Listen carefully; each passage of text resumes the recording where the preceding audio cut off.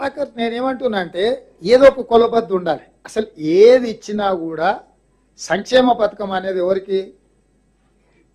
నిస్సహాయులకు సహాయం అందించడమే మా సంక్షేమ విధానం. నిస్సహాయులకు కొలబద్ది ఏంది మన రాష్ట్రంలో? తెల్ల రేషన్ కార్డు. సో తెల్ల రేషన్ కార్డు ప్రాథమిక అర్హత కింద వాళ్ళకు అమలు చేయాలనుకుంటున్నాము. రేషన్ కార్డులు లేని వాళ్ళకి రేషన్ కార్డులు కూడా మేము ఇస్తాం.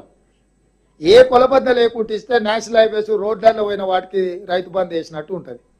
మనం మీరు చూసిండ్రు పేపర్లలో టీవీలలో ఇప్పటి వరకు రైతు బంధు అనర్హులకు ఇరవై రెండు వేల కోట్ల రూపాయలు ఇచ్చిందని ఒక అంచనా వచ్చింది.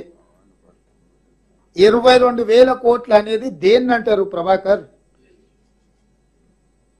అంటే అసలు లేఅవుట్లు అయిపోయి ఇండ్లు కట్టుకున్న కాలనీలకు రోడ్లకు పోయిన భూములకు గుట్టలకు రాళ్ళకు రప్పలకు బుద్ధి జ్ఞానం లేకుంటే ఎట్లా పడితే ఎడా పెడా చేస్తే ఈ ఐదారేళ్ళలోనే ఇరవై రెండు వేల కోట్లు అన్వరులకు వచ్చినాయని చెప్పి నిన్నమన్నే పత్రికలలో నేను చదివిన.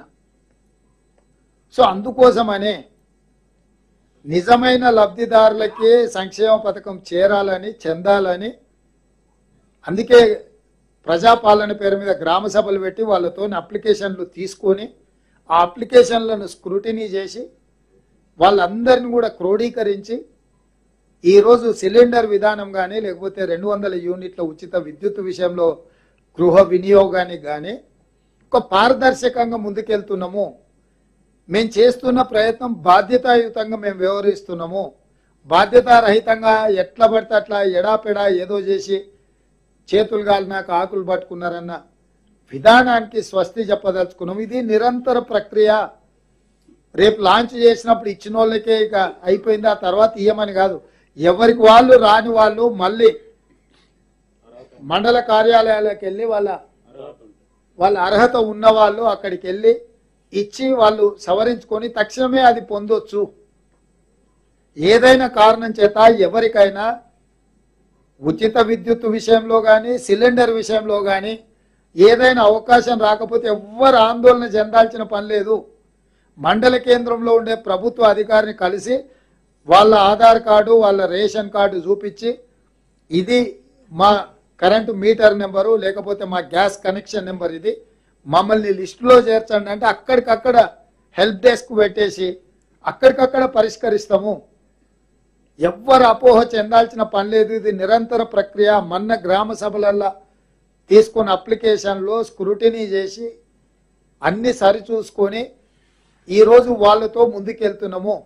రేపు ఏదైనా ఎవరికైనా అవకాశం రాకపోతే అక్కడ మండల కేంద్రంలో ఉండే అధికారులను కలిస్తే తక్షణమే వాళ్ళను కలిస్తే ఎవరైతే మన ప్రజాపాలన అధికారులు మండలాధికారులుగా పోయినరో వాళ్ళకు వాళ్ళకు ఆల్రెడీ పవర్ డెలిగేట్ చేసినాం. ఎవరు వచ్చినా ఎంబడే కరెక్షన్ చేసేసి కొత్తగా లబ్ధిదారులను కూడా పొందుపరచండి అని.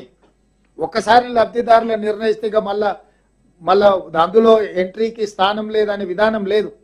విస్పష్టంగా మీ ద్వారా తెలంగాణ సమాజానికి నేను చెప్పదలుచుకున్నా ఎవరిదైనా ఏదైనా కారణం చేత ఐదు వందల రూపాయల సిలిండర్ విషయంలో కానీ రెండు వందల యూనిట్ల గృహ వినియోగానికి ఉచిత విద్యుత్ విషయంలో కానీ ఏదైనా అవకాశం రాకపోతే మండల అధికారి దగ్గరికి వెళ్ళి మన ప్రజాపాలన విషయంలో ఎవరైతే అధికారులు మీ గ్రామానికి వచ్చారో మండలాధికారులు మండల స్థాయి ఎంఆర్ఓ కానీ ఎంపీడీఓ కానీ వాళ్ళ దగ్గరికి వెళ్ళి మీ వివరాలు ఇచ్చి ఎంబడే కంప్యూటర్లో మీరు వాటిని సరిదిద్దుకోవచ్చు. ఇయ మీరు అన్నట్టుగా ఒకవేళ ఊరికే వదిలేస్తే జూబ్లీహిల్స్లో ఉన్న వాళ్ళు కూడా వస్తారు. ఏమంటారా మీరు చెప్పు ప్రభాకర్? కోట్లాది రూపాయల ఆదాయం ఉన్న వాళ్ళకు విలాసవంతమైన జీవితం గడపడానికి ఫామ్ హౌజులు కట్టుకున్న వాళ్ళకు కూడా ఏమంటారా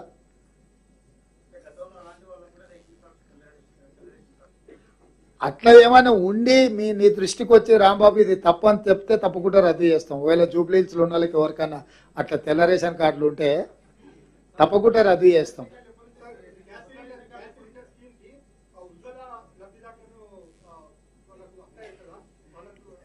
ఎ-